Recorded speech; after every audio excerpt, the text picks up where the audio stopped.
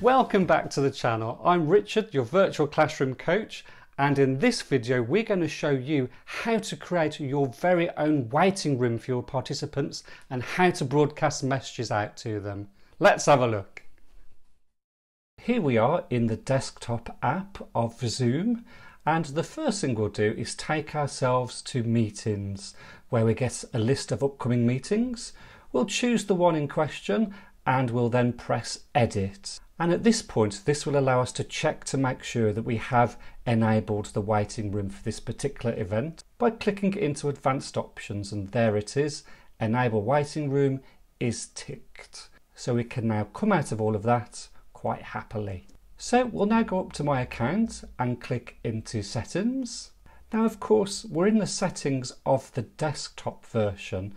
What we're going to do to get even further into the system, we're going to click on view more settings at the bottom and that takes us to Zoom online via the browser. It rather usefully takes us to the exact page we need. All we have to do is choose in meeting advanced and scroll down to waiting room. It's toggled on as you'd expect. We've got some great new options there, including customize the title, logo and description so we can really make this a branded or personalized feel for the learner. Let's have a look into that. So just click onto the pencil to edit. And now look at that, where we'd normally just have please wait, the meeting host will let you in soon, we can actually edit that to suit ourselves and put our own personal message into there for our learners. And once you're finished, just press that little blue box to tick and confirm. The next great thing you can do is add a logo. Now, as it says at the bottom, there are restrictions to this. Stick to that and you'll have no problems. So I've already created one to match those conditions. So here we go, let's add it bit of branding and a nice welcome. Where it says your meeting topic, that will always reflect the name of the meeting when you first created it. And now look, you can see we can even add a waiting room description and we get 400 characters for that. So it could be a very simple welcome message. It could even be an agenda. It could even have more important information, such as don't forget your pre-course work. So we'll fill that in and that will make for a real personalised and branded feel to our waiting room now.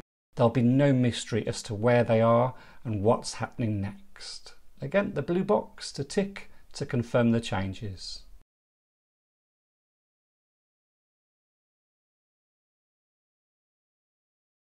Now let's take ourselves back to the desktop app of Zoom and we're going to start the meeting.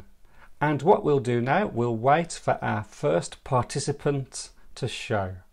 And there it go, it says right at the bottom that Bob has entered the waiting room for this meeting and we continue to get messages there as more people enter that space. Now you'll see it does say that we can see the waiting room, so let's do that now. And we can now see at the top that so far we just have Bob in the waiting room there. And you'll notice it says message. So that's where we can send a message to him and indeed anyone else that's currently waiting in the waiting room space. We do that by typing at the very bottom there.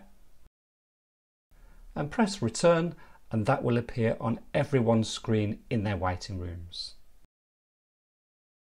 And another minute or two passes and I send another one. Don't forget your pre-work.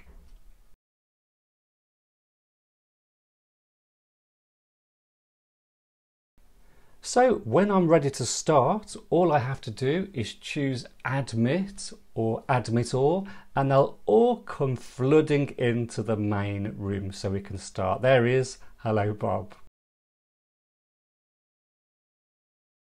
Let's take a look at how that looked from Bob's perspective. Here he is on his iPad. He's going to type in that meeting ID. On this occasion, Bob wants no audio or video. Fair enough, Bob. And when he chooses join, he'll have to pop the password in. Of course, this is optional depending upon how you set up Zoom. So he pops the password in and then he's into the waiting room.